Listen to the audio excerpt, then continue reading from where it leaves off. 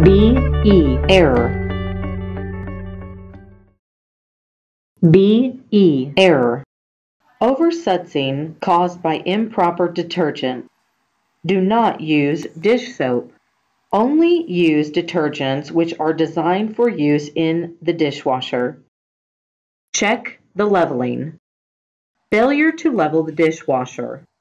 Make sure that the dishwasher is properly leveled. Open the door 45 to 60 degrees and remove the lower cover by pushing the hook to the bottom side. Adjust leveling feet as necessary. Removing the bubbles. To remove detergent residue in the tub, pour approximately 3 to 7 ounces of milk into a shallow bowl. Place it in the upper rack and run the dishwasher on the auto cycle.